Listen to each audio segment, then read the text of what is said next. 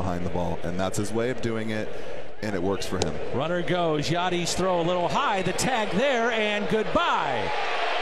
As Sosa stays with it, tags out Senzel, and it's a caught stealing for Molina, his second here in